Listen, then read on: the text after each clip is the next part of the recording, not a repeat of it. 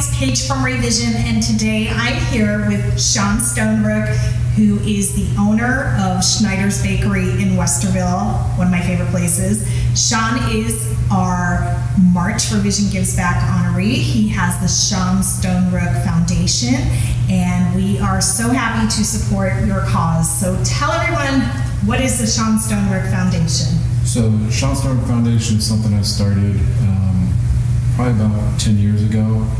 Um, I was adopted when I was nine months old, so I wanted to start a foundation where I could give back to kids in foster care or kids that are, families that are trying to adopt and can't afford it, or pretty much anything adoption based. Um, so we've been raising money to do a lot of things around Central Ohio and Columbus for kids in foster care, whether it's Christmas presents or meals or um, building computer labs and things like that access at home uh, to computers or internet. So um, just anything adoption based is really what we're, we're focused on. That's wonderful. So, what are some of your greatest needs right now as far as building your foundation? Is there specific items that would be helpful?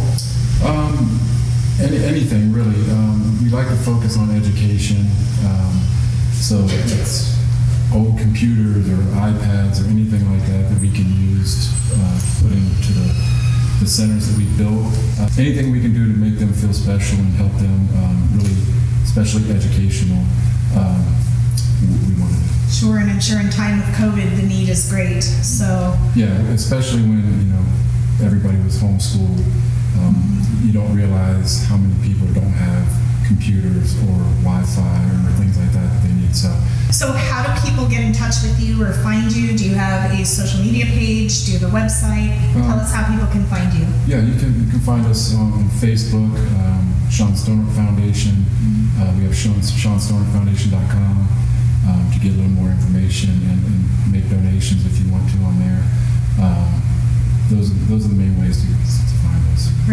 Thank you. We're so excited to be able to support your foundation. You're doing great work, and uh, thank you. So, learn more about the Shaun Stonerook Foundation by following our site or visiting his. Thank you.